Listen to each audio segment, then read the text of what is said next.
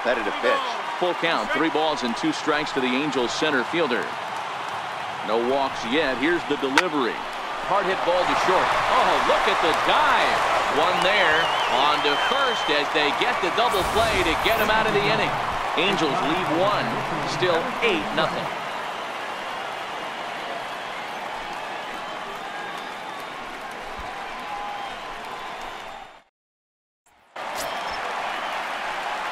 Digging